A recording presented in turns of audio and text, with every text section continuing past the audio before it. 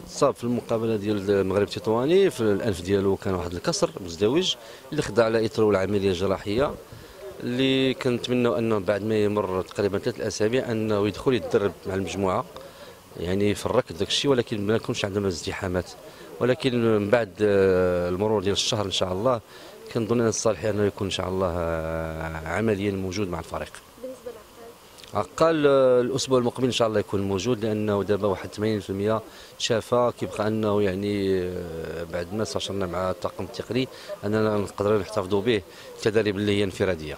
في المنافسه ديال تشامبيونز ليغ واش آه، يمكن كاع اللاعبين يكونوا حاضرين؟ كنظن بأن جميع اللاعبين يكونوا حاضرين باستثناء اللاعب الصالحي كل شيء تقريبا غيكون موجود إن شاء الله.